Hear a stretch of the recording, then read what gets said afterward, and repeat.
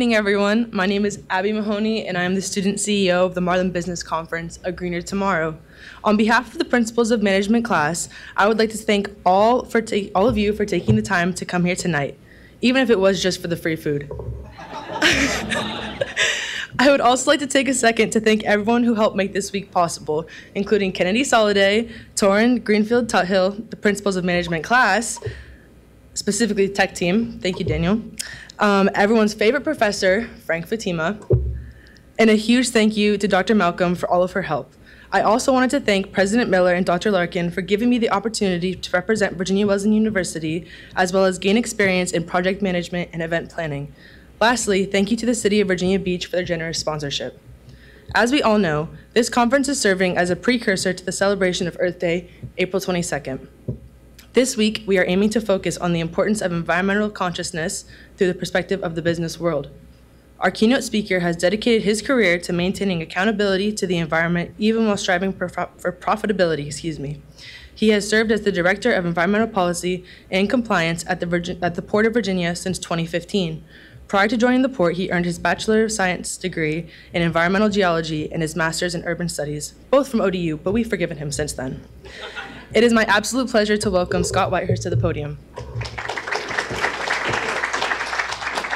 Thank you, Abby. I appreciate it. It's really a pleasure and an honor to be here with you guys this evening. I, gosh, it's probably been, uh, I don't know, a few months since I've spoken in public, so you'll have to bear with me a little bit. But I got to tell you, I think this is really my first keynote speech I've ever done. There was this other speech one time, but it wasn't called a keynote. So we're going to call this the first keynote speech I've ever done to kick off your event here. It's a great, really great layout. And I'll tell you, I don't think I've ever uh, been to a reception or the beginning of a conference um, that was not a focus of the environmental field in which there are so many great questions about what I do and about what the port's doing. And so that's really, uh, you know, a credit to you guys and your passion for what you're doing here. And uh, so thank you for that. So let's get rolling a little bit. I'm not sure I can figure this device out. Sometimes they give me trouble, but I'll tell you, it's been a little over 20 years I've been working in the environmental field in this area. Uh, we, um, we've been lucky enough at the Port of Virginia to, not long ago, having hired a new CEO, is very, very forward thinking and forward leaning in regards to the environmental field and our sustainability initiatives at the port. That's really given me the power to do what I love to do. Um, so let's take a look at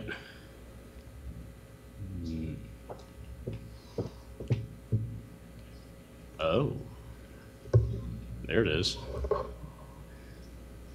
All right, so this is a graph that we came up with about a year and a half ago. Up to about a year and a half ago, my job as an environmental director at the Port of Virginia was uh, what I'll say is quite similar to a lot of environmental jobs in Hampton Roads. What we focused on as an environmental director, managers, and I only have one other staff person who's an environmental specialist. We focused prior to our decarb effort and establishing that sprint event was on inspections. It was on our environmental management system and the manage of, management of that. It was uh, a strong focus of water quality, wetlands, as well as mitigation from construction projects that we had ongoing uh, and planned. And a year and a half or so ago, that all changed when we started talking about decarbonizing the port. But one thing you have to realize is that we have really been decarbonizing the port for many years. We didn't even call it decarbonization, you know, over a decade ago. We just called it reducing pollution.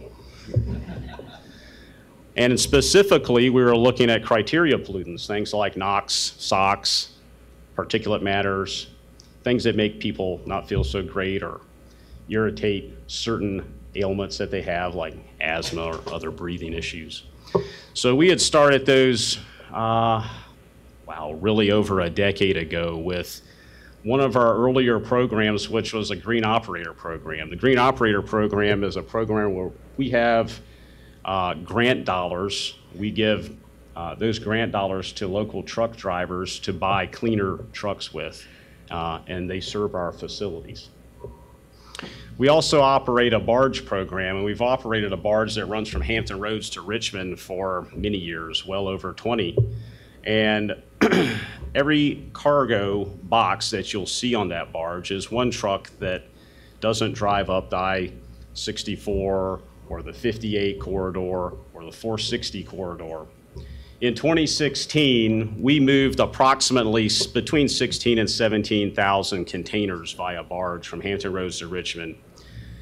Last year, we moved over 42,000 containers by barge uh, using the James River. So those are just a couple of our really early initiatives that we had. After that, we started, well, we started looking into what other people were doing. People like Long Beach and LA and some of the Northwest Seaport Alliances. Those ports um, are today and, and have been for many years subject to regulations that we really, at this time, do not have to deal with here in Virginia. And we want to keep it that way. And we want to keep it that way by doing the right thing uh, before being asked to do it. So, for uh, about six months or so, we worked on that glide slope. And what the glide slope was, was basically saying, hey, we're not going to have any emissions at, by 2040, net zero by 2040. And that's in scope one and scope two emissions. If you don't know what scope one and two is, well, scope one is emissions from the equipment you own. Scope two is emissions from the power you use. And scope three, which we haven't talked about at all yet, but scope three is simply emissions from your supply chain partners. And that'll be kind of important in a little while. We'll talk about that a little more. But these are some of the um, initiatives and goals that we had set a little over a year ago when we started our first sprint activity to decarbonize our facilities. And so out of that came, here's what we want to do, 65% reduction in absolute emissions from 2017. The reason we picked 2017 is because we had good data for 2017. You'll figure out that having knowledge of what, what's at your facilities is important if you want to decarbonize. Um, we said, hey, we're going to power our, uh, our facilities with clean energy. And we're going to ensure that um, everything on our scope one and two side is net zero by 2040. And I'm really proud to say that we're well on our way to that goal. Um, here's some things about greenhouse gas emissions. I don't really know that you guys need to be able to really see or read any of this, but here's the big takeaway is that there's a lot of sources of greenhouse gases. And one big source is obviously in industrialization and what's the byproducts of combustion? Greenhouse gases. So anywhere where we're driving diesel equipment or we're driving gasoline equipment, we're always going to have emissions associated with that. Those are the emissions that we're trying to curb on site as well as through our uh, power uh, partners at Dominion. So here's some more examples of what you might find uh, tied to scope one, two, and three emissions. We've already really talked a little bit about that. So what's really more interesting is how we're doing it. This is uh, one of our facilities. This is Virginia International Gateway. Virginia International Gateway, uh, when it was built in the early 2000s, was the most advanced terminal in North America. Uh, since the terminal was built, it has been expanded. And essentially, this entire area that you see here was a big green space in the middle of the terminal. About seven years ago, we started expanding our stack yard, which is what that area is called, stack yard.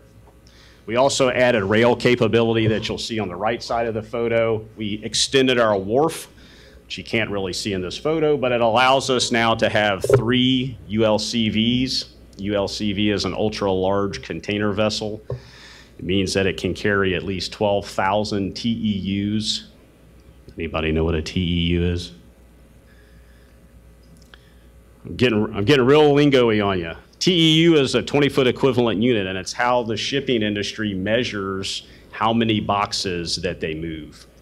So if you have a 12,000 TEU ship, that means it has 12,000 20-foot boxes on it, or, or maybe a combination of some uh, 20-yard and, and some 40-yard boxes as well.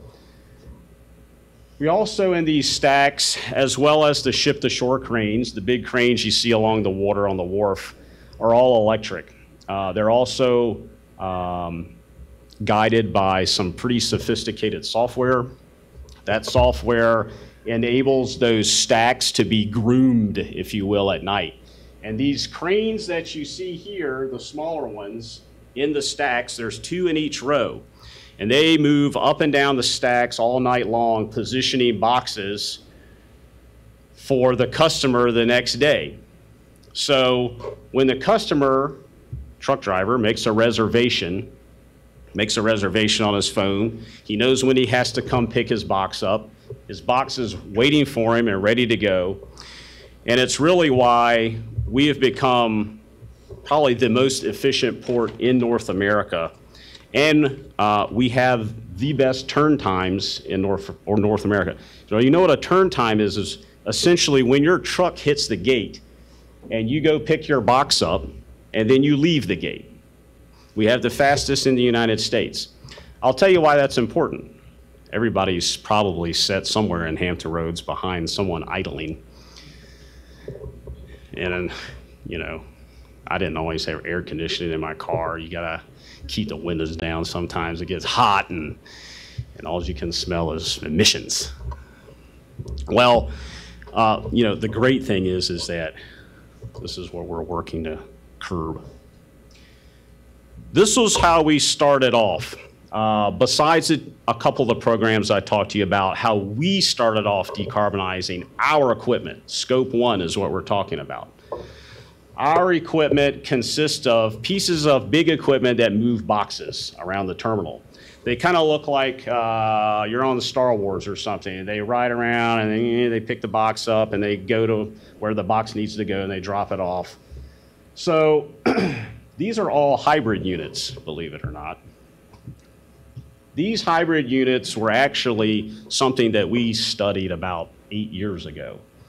We studied it coming out of Long Beach, and they had done a, a pilot and a big write-up, really, a giant report. And I stole everything out of that report I could.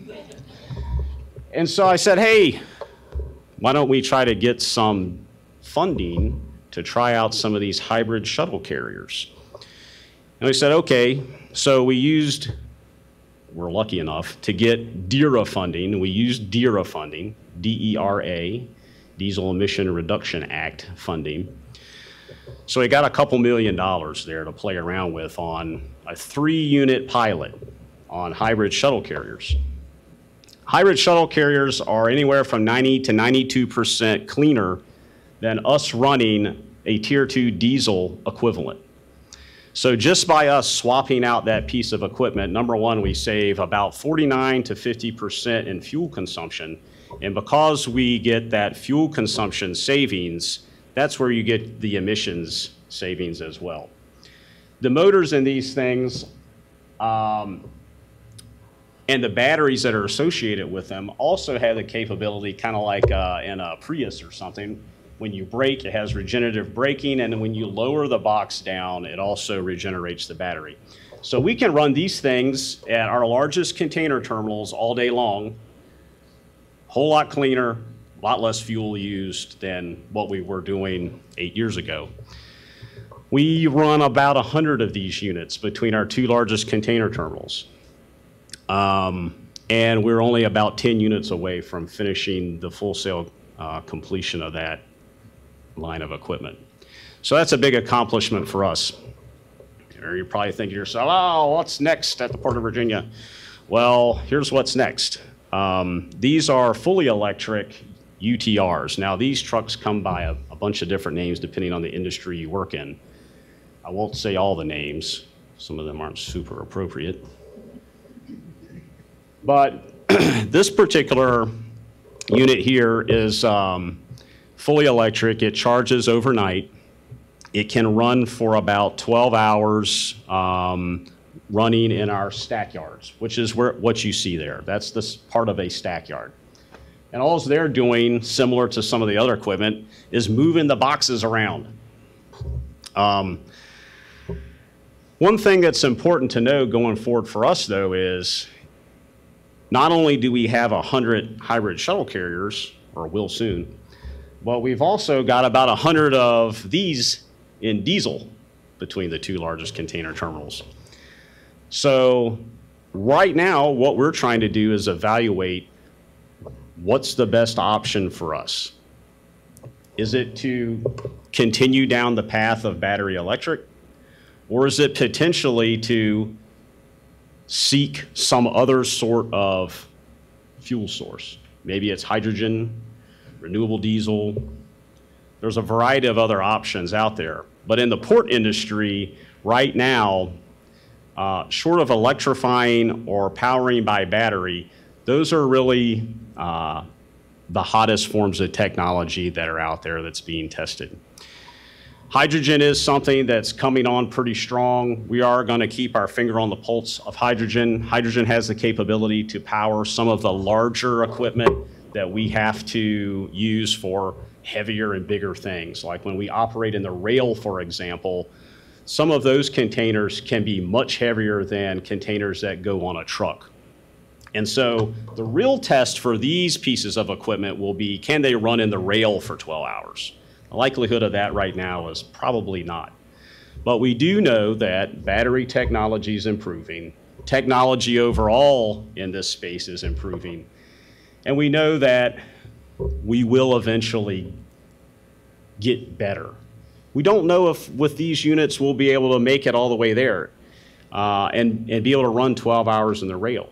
So what are you left with then? Well, at that point, you're left with basically a mix of technologies to deploy. And so from, luckily, we at the port have a, a fleet manager and, uh, and we work together closely. And so one of his big questions right now is, uh, how much power do we have? How much power do we need? How much power do we need if we electrify all of our equipment or if we need to charge it? Or what other fuels can we get? so we'll move along. Uh, this is really a focus of scope two and our power purchase agreement. So I think there's a lot of folks that think this. We're the only port in the United States that has entered into a power purchase agreement with its power provider. So basically what we've done is we're paying in the rears for solar projects that Dominion has already put out and they're already functioning. Right now, we're running on about 69% clean power at all of our facilities. We've got about, um, we have one more solar facility that has to come online, uh, and that should be online next year. So that's why we're saying that in 2024, the port's going to be um, using 100% clean power. Now, we're not saying renewable. We almost slipped up. The reason we're not saying renewable is because this, all state entities have the capability to participate in a green power plan that Dominion has available for um, state government entities, even if, uh, even if they're an authority like the Port Authority is. And it guarantees them 10% of this power profile that Dominion has put together. Part of that power profile is nuclear. And so we had to back off the renewable claim. Obviously, nuclear is not renewable. Um, It's not renewable, and it's a little dirty, frankly, when you're mining uranium. Everybody knows that. But when you're running on nuclear, it runs as clean as wind does. And so, from a resiliency standpoint, and when we start talking about, oh my gosh, what, what if it's cloudy all winter and we don't get any power, or I, you know, we don't have to worry about that because we have uh, a portion of our power portfolio that's built with nuclear. Um, this is one of our more recent CO2 graphs that we put together. Every year we put together um, a sustainability report. We've done it for the past several years. We usually release it on Earth Day. Uh, this year will be no different. This is uh, kind of one of the graphs that typically you'll see in the report, although it'll look a lot better in the report because there was a marketing person that made it look better than the sciencey guy could. Anyway, you'll see the 2017 bar here at the bottom. Like I said earlier, we we are benchmarking off of 2017. We're benchmarking off of 2017 because we know we have good data to rely on from 2017 that didn't really require a lot of help or cleaning, if you will, to make it good. So you can see from 2017 to 2022, we've had a pretty drastic decrease uh, in CO2. That is largely due to the power purchase agreement that I just talked about, as well as um, the scope one improvements that we've made with the hybrid shuttle car- carriers and what we're doing on the UTR side of the house. I mentioned the truck reservation system a little earlier. The truck reservation system uh, is something that we actually, it's software. Um, we started deploying it um, about seven years ago. It became mandatory about mm, five years ago. Truck drivers are required to use it now between certain hours so we can better manage cargo as it uh, flows through the facility. Uh, we have a need to be able to do it uh, not only efficiently but safely too. So I've already talked a little bit about our, our green operator system uh, and our green operator program, but the truck reservation system, when we went back and looked at the emissions that we saved over those hours, um, it was somewhere in between 20 and 22 percent across the board of criteria pollutants. So we knew in the back of our mind if trucks weren't idling on terminal, then the emissions would be lower, but we didn't know exactly how much lower they would be until we actually did the work. And comes uh, come to find out, it's pretty significant. Um, talked a little bit about the barge already. The barge service, it's a long-standing program we've had. We're considering some things now in which we could look at incentivizing uh, users of the barge. Uh, like I said, uh, we've gone in a, maybe uh, since 2017 from 16,000 to 42,000 containers moving up and down the James River on the barge. And all those moves are less trucks on the road. And one of the other early projects we did was we got a grant to swap out the engines on the tugs that move the barge and we swapped them out with more efficient marine engines. So right out of the gate, as soon as you put that box on the barge, it's about uh, a third of the emissions less than what you're going to see on a truck.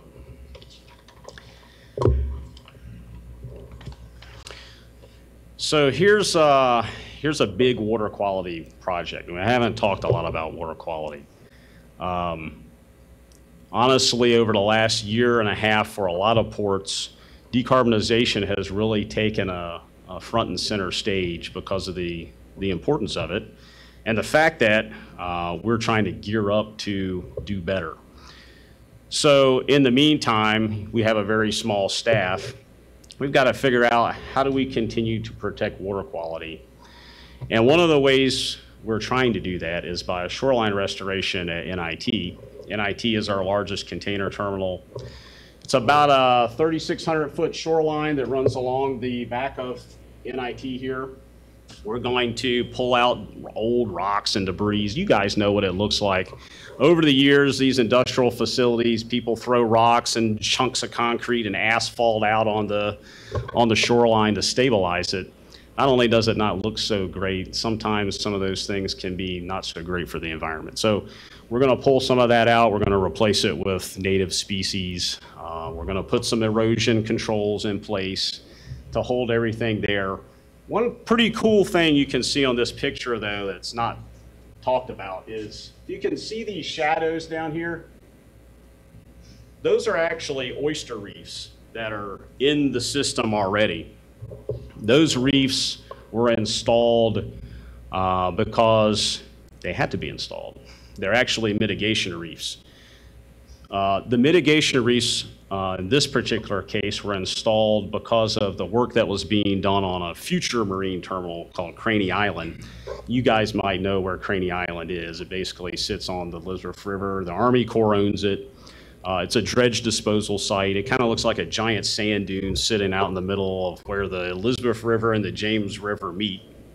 And uh, we, um, we typically are able to send most of our dredge spoils to that site. So if we have to dredge to get ships in to our terminals, uh, we have to perform typically what's called maintenance dredging. So every once in a while, we'll go around and a dredge will come around and they'll dig out all the sediment from where the ships pull up to the port.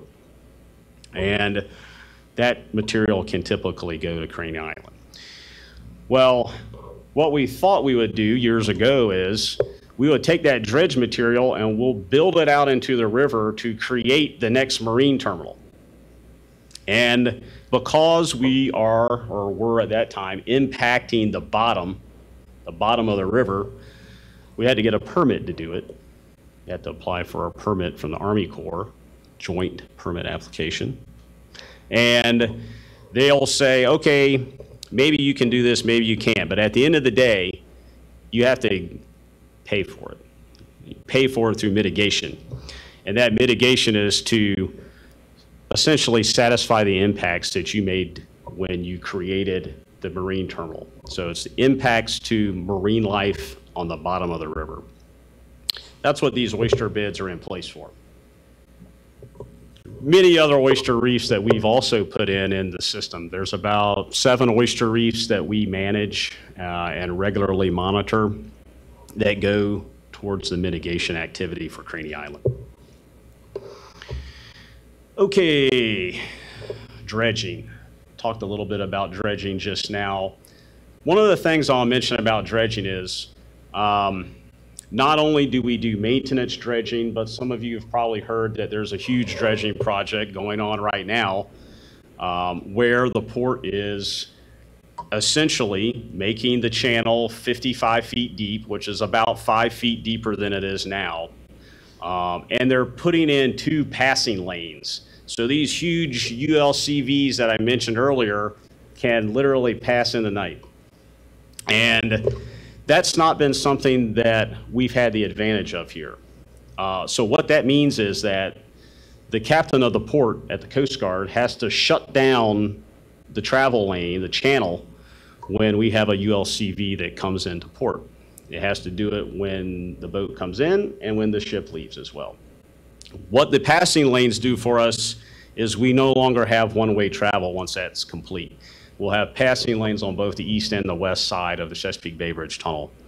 Um, the other, our, just so you know, our two biggest competitors on the East Coast, from a volume standpoint, is Savannah and New York, New Jersey.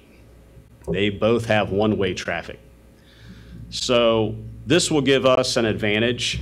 Uh, it will allow us to have two-way traffic on either side. It'll also be a big advantage for the Navy, who's been big supporters of the project as well.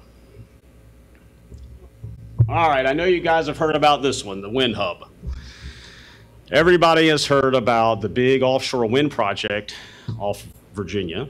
Uh, there's others, though, that are, that are being developed and permitted as we speak uh, up and down the Atlantic seaboard uh, to really just south of us in North Carolina. We, um, we though have been really lucky in that we've been able to negotiate and receive funding for uh, one of our terminals to be transformed into the future wind hub, where these offshore wind turbines that you see, the blades, the anchors, everything will be assembled at PMT. PMT is Portsmouth Marine Terminal. It's real close to VIG, Virginia International Gateway, that I talked about a little earlier.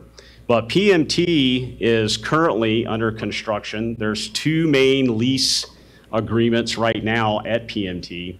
One is with Dominion and it's for improvements of the wharf. Essentially, these, these windmills are so big and they're so heavy that we have to basically back a ship in, roll the components off the back of the ship, do whatever we have to do to those components, and then roll them back on the ship. And the ship will be is being built right now, by the way, and it is big enough to carry enough for three uh, entire units to go into the CVOW project. And they'll just keep running in and out until they've completed it. Um, Siemens Gamesa Renewable Energy is the other leaseholder. Siemens Gamesa is right now in the process of working through permitting for a blade finishing factory there.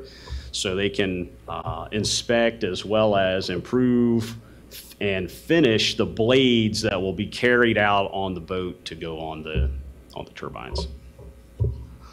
Probably uh, we'll be looking on about uh, less than a year now before we get our first receipt of some of what's called green blades. Those are the blades that have to be refinished.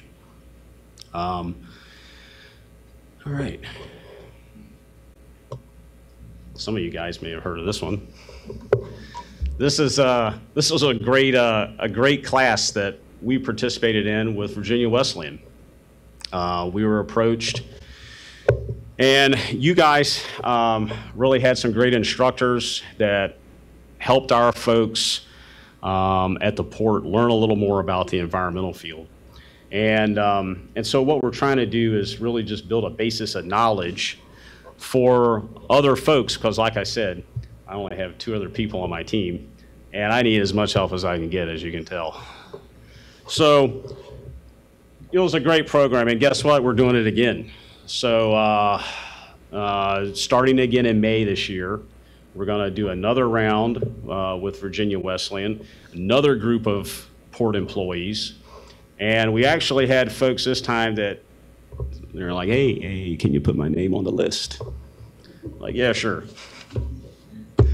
So I think it's about 25 or so people is what we did last time. Uh, looking, really looking forward to it. And I, unfortunately for the people that are taking the class this time, I'm going to probably have to talk some. Sorry about that. Uh, here's something that I'm sure you guys have heard about, Clean the Bay Day. It's just another example of some of the things we do around the community. Uh, we, oh man, we've been an active participant in Clean the Bay Day for many, many years, uh, well, well before I started. Uh, we usually have a group of somewhere around 50-ish or so people that will come out. We uh, typically will pick some different sites Sometimes they're on our terminals, sometimes they're nearby our terminals, sometimes they're at a partner's facility, and we just go out there and pick up the trash. Uh, but it's a great event. It brings folks uh, together, and you can spend a little bit of time talking about the environmental field and why it's a good thing. So, we're getting near the end here. I'm sure you're really disappointed. we made this logo I hope you like it.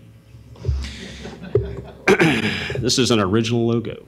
Uh, it was in last year's sustainability report. It'll be in this year's sustainability report. It's really what it's doing is uh, emphasizing the UN sustainability goals that the port is committed to. And those goals are, if you, you know, if you're familiar with the UN sustainability goals, uh, there's many of them, and it's pretty interesting to go look at them online. You know, you can look up, type in UN sustainability goals. 9, 13, and 14 are represented here. Nine is technology, and I get the other two backwards. 13 and 14 are air quality and water quality, essentially. So, what we're trying to do is focus our actions around these three UN sustainability goals right now.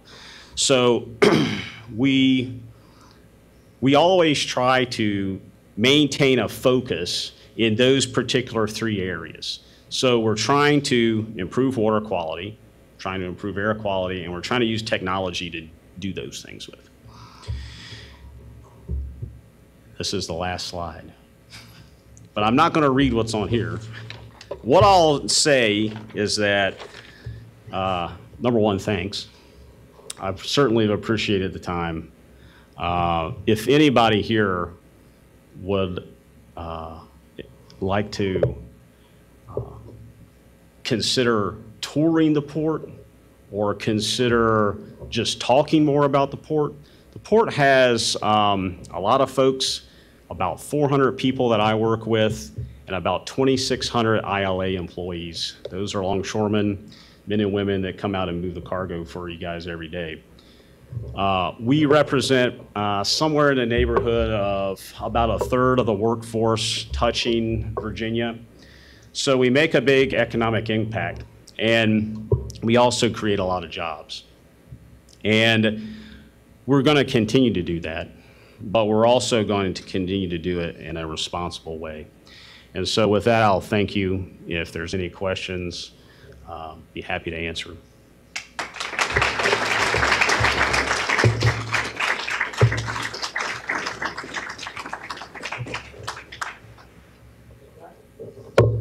What's the economic impact of the environment, the the sustainability work you do? You guys try to put it into it?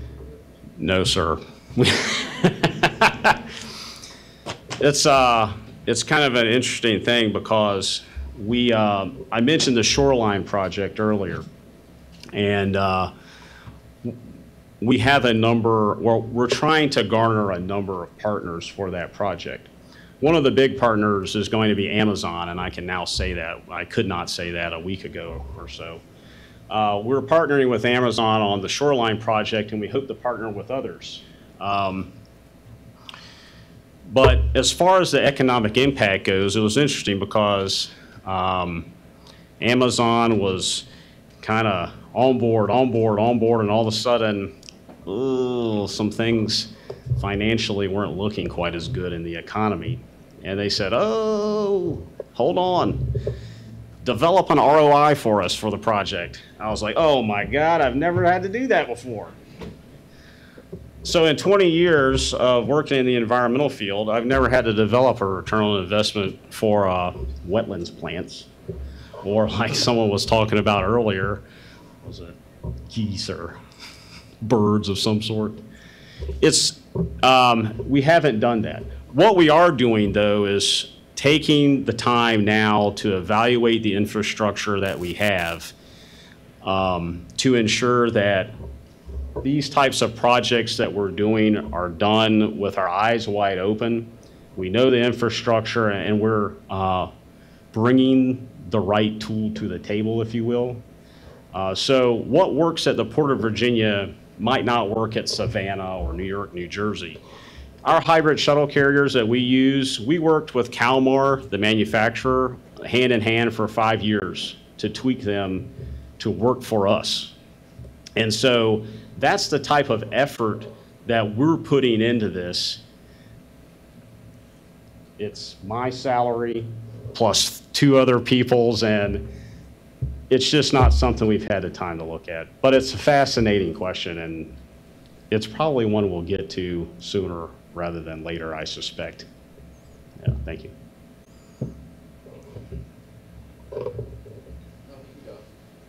Either, either way. Go first. Alright, I guess I'll go. Uh, you talked a lot about, actual ports equipment becoming more cleaner, more efficient in terms of carbon emissions.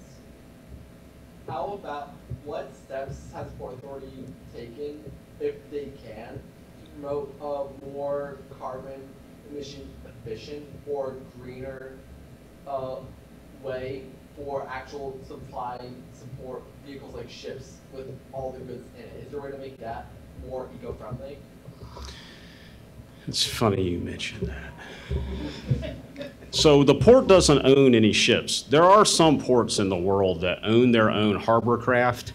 So when I say harbor craft, I mean things like tugboats or pilot boats, okay? So the pilots are the guys and gals that go out, they drive a fast boat up to a big ship, and they jump out on a ladder, and it's 40 knot winds, they're hanging on, they climb up the rope, and they drive the ship in middle of the night. That's what the pilots do. The tug guys, you know what tugboats do. they maneuver, they position. But a lot of those boats, um, the harbor craft as well as OGVs, ocean going vessels, um, they do what's called hoteling. And hoteling is where you sit there and you burn diesel uh, so your crew can live. So a hoteling is exactly what it sounds like. Your ship becomes a hotel because they have to live there. And so they have lights and their own, you know, personal needs and cooking and things. Because most of the people that are on those cargo vessels really don't get off a whole lot. They might get off when they come in the port, but then they're back on and whoosh, away to the next port. So we don't own boats or the ocean going vessels. But we are interested because um, no matter what port you go to, the number one polluter is always going to be the ocean going vessel, unless you're at a cruise terminal and then it'll be a cruise ship because hoteling. So um, we're very interested. We have, um, we conduct uh, a number of different studies. We conduct an air emissions study about every five years. And we uh, recently wrapped up a phase one of our greenhouse gas study, which is looking at those sources of pollution, like harbor craft and ocean going vessels. But since we don't own those boats, they're not scope one emissions, which means we don't have direct control over those. They are scope three emissions, though, and that they're in our supply chain likely somewhere, or someone doing business with us, they're in their supply chain. So just because it's not a scope three for us doesn't mean it's not scope three for Walmart or Home Depot or Lowe's, any of those big box stores. And so the big message that we've been conveying to a lot of our scope three partners is, hey, look at what we're doing. Here's what we're doing on the scope one and scope two side of the house. Why don't you run your cargo through our facilities? And that starts to generate a buzz in the industry. And uh, when shipping lines start moving across the country and agreeing to move cargo via train from VA to California, that's when people start saying, hang on a minute, what's Virginia doing over there? That actually has happened. Uh, when, you know, during the pandemic, there's a huge backup of ocean going vessels in California, many, many sitting off the coast. And so there have been some shipping lines that have made an, a, a choice to change, you know, do I drive through the Panama Canal or do I just stop in Virginia and ship everything by rail west? And some have made that choice. The unfortunate thing um, is that the only way that we can make impacts on scope three is by making everybody love us and want to talk to us all the time.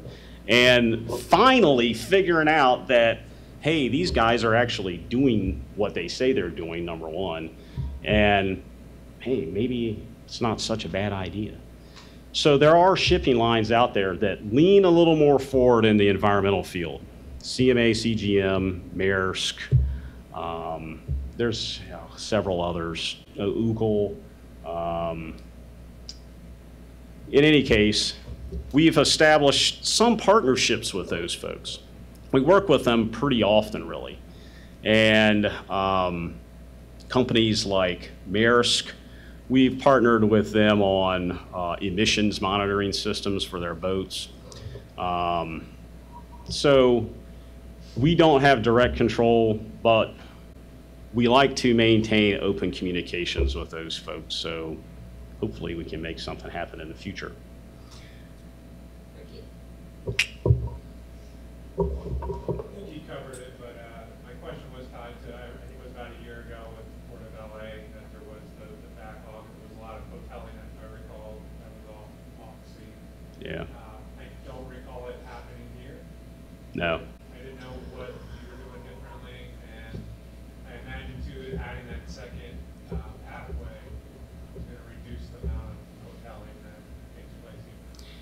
Yeah, it could, and we don't really, during the pandemic, um, our ILA partners as well as the port staff really didn't fail. We had no days that we were closed, no one ever complained.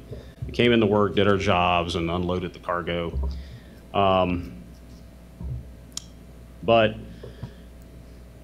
I, I really do think that there could be some changes, additional changes coming from the fallout on the West Coast uh, a year or so ago. And what we want to do is position ourselves in Virginia to capture that market share and do it responsibly. Yes, ma'am. Um, which project are you most proud of or most excited about? Oh, boy. Um, well, I guess I would probably say the hybrid shuttle carriers, at least for now, because I don't think that there's another port in North America that has completed a full sail equipment line change um, like's represented there. Uh, in my mind, you know, uh, there's a lot of stories, there's a lot of pilot projects going on, but you really have to read and check what folks are doing. Um, and so that's kind of like our evidence that we're we mean business. We're serious about uh, our claims.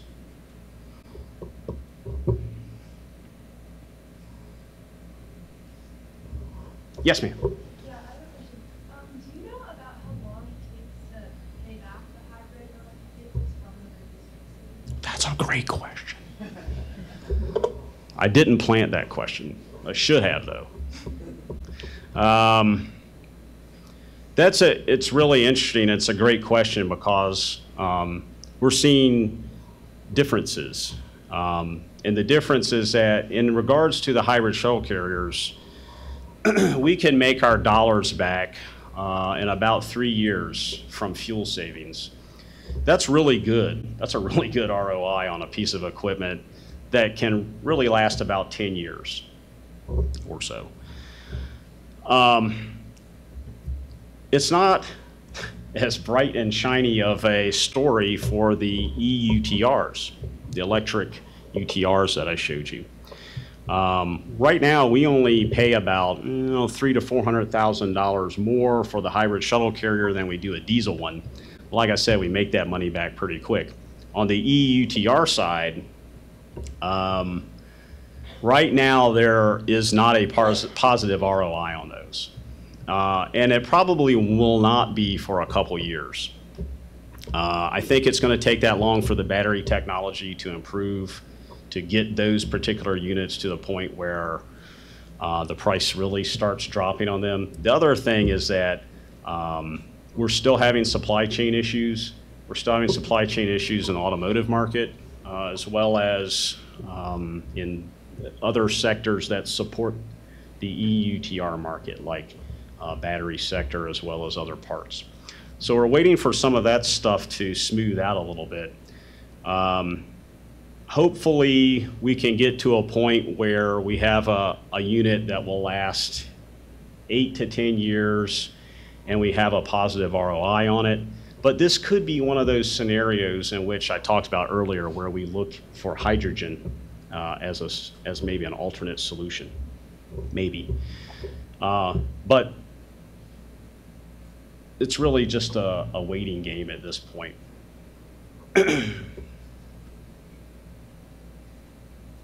Other question? Sure. You said there's a lot of savings for the hybrid vehicles. Why do you think other companies like push back against, like, transition towards it? Well, earlier I mentioned that a lot of ports are different. Um, They operate differently, but they also have different management setups. And I think I mentioned that we're not a landlord port. Maybe I didn't. But we're not a landlord port.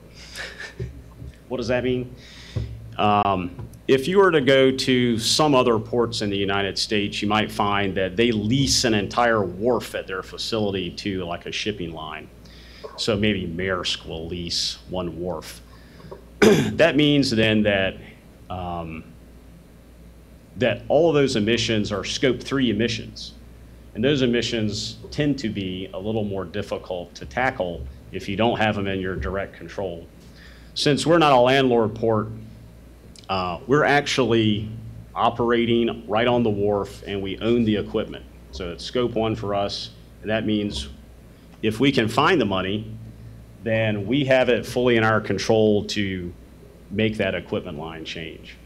Now, why folks haven't, you know, really realized the benefits of the hybrids, I'm not sure. Um, I think right now what you're seeing in the industry is a is a strong push to go to electric or batteries, and um, that strong push uh, has, um I think, to some degree, slowed down progress because you're not seeing dollars come out of grant funds anymore for hybrid vehicles or hybrid equipment. It's for fully battery, fully electric, um, and that's the administration trying to push that agenda. Um, we at the Port of Virginia have been trying for a while to impress upon some of our legislators that maybe it would be a good idea to almost consider a hybrid as a as a bridge technology, if you will. Um, a strong push there's to a lot of to other electric or battery. that And, um, with fuel that strong like push, can be considered uh, a bridge has, fuel, or maybe LNG is even a bridge fuel. I think, It's something to that some is cleaner, degree, but could be slowed better. down progress. And so hybrids, I think, fit into that bill. But right now, you're not seeing dollars being offered up for hybrid equipment anymore. And that's something that's changed within the last two years. Yeah. Uh, so you talked about like wind power and, uh, like nuclear and, uh, solar for like the different kinds of clean energy. Is the Port of Virginia ever considered like geothermal or hydroelectric? If so, like, why did you go into those two comments? So hydro, um, Dominion does actually have a hydro dam, I think, in their portfolio. It's just not a one I think about typically, but um, we do not um, have any on-site production. So the PPA that I talked about earlier, the power purchase agreement, is considered a virtual PPA, and that we're not really constructing solar facilities on port property because we don't have the space for it. Um, we kind of are, are funding the project after it's already been built in the case of solar. And so those, we have one more project left to come online. Um, Geothermal is something we have looked at.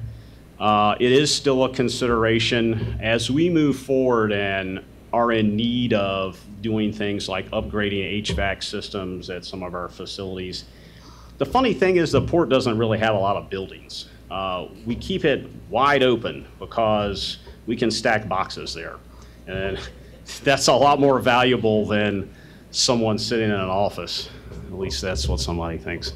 So, so uh, I uh, I don't I don't think that you'll see the port doing on-site technologies of that nature. Um, however, we have studied it. Uh, we do know what we could put and where it could be put, and it's it's nothing it's nothing super great. It's rooftop solar. And so, you know, we have a few facilities where we could deploy rooftop solar. Uh, we could use that and do some craftier things like peak shave, put in battery technology of our own to peak shave with. Um, peak shavings, does everybody know what peak shaving is? Peak shaving is basically when you have the capability to run your facility off of another source when the power prices are at the highest during the day. So you save money in the long run that way. Um, I could be wrong, but I think, I think it'll be, you'll see power purchase agreements start cropping up elsewhere. Our inland facility, we also have a um, 100% clean power rider up there. So that facility is funded, uh, not funded, it's powered by a different um, power provider. It's Rappahannock Electric Co-op up there, and obviously Dominion Power down here. Several times you've mentioned uh, grant money. How, how important is that to you all achieving your goals? Oh, gosh, we, we take more money than, no. It- It's super important. We actually have, um, we're lucky in that we have a grant manager. We apply for so many grants and have been pretty successful over the years um, that we are likely hiring a grant uh, specialist, if you will, soon. And we go after grants that you'll find not only at like the EPA, for example, uh, the DERA grant, but also a lot of DOT grants, Department of Transportation at the federal level. Some of those grants come right out of DOT, and they're pretty big grants. Some of them come out of MARAD, the Maritime Administration. Uh, Some of them are pass-through dollars using CMAQ funding. Um, but grant funding is super important. Uh, Frankly, I don't know that we ever would have been able to start the hybrid shuttle carrier pilot if we hadn't have gotten that grant. And it was a $750,000 grant that kicked it all off. Yeah. yeah. You talked earlier about being inspired to innovate through looking at other ports in the eastern coast of the US and I. Have there ever been any new technologies that the port of Virginia has been inspired by from other countries such as the EU or Japan? Well, you know, there's a lot of very advanced ports in other countries. Um, some of the ports we'll look at, uh, you know, Beijing, Rotterdam, Hamburg. Um, they're very typically forward-leaning ports. Um, I'll tell you, you know, European ports are a little bit different, especially on the labor side of the house. So you'll see them introduce things like um, automation, for example, in which you can have an entire terminal that just runs with nobody in the vehicle. And it's all by electric circuitry, current software, and it's all tied into the work management system at the port.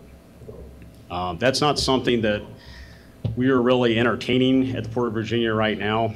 Um, We value our labor partners. We think that, you know, they're the, the men and the women that are going out really making the effort to move the containers for us, to bring us our goods. And, um, and so ILA relationships are something that uh, we really value here in Virginia, the services they provide. Yes, sir.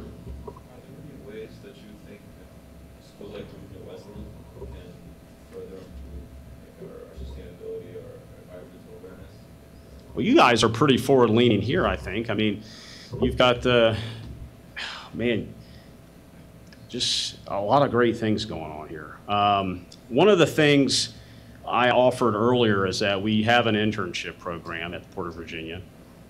Obviously, I would love to see you guys apply. Right now, it's closed for this summer, but it opens every summer. We take about 20 to 25 folks. And, um, and it, they really run the gamut of all departments. Um, anything from like terminal operations, if you want to go, you know, see how things really are moving behind the scenes. You know, my department typically has an intern as well as uh, departments like finance and uh, human resources and really runs the gamut.